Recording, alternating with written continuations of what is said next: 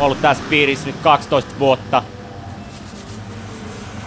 No mitä mä sanois, kyllä se niinkö näkyy nuo huumausaineet, päihteet katukuvassa yleensäkin paljon enemmän ja raistunut tuo väkivalta tuossa.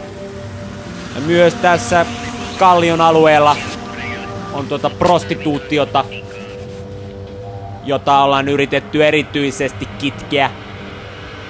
Nämä taimaalaiset ja muut Aasian maiden edustajat tässä sipsuttavat ylös alas Baasan ja Helsingin katua.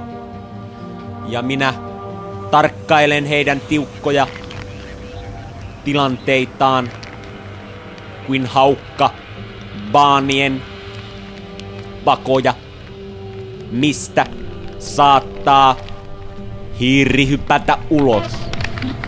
Minä suojelen, minä olen teidän turvananne. Te voitte luottaa minuun. Minä tulen patukalla pätkimään kyllä.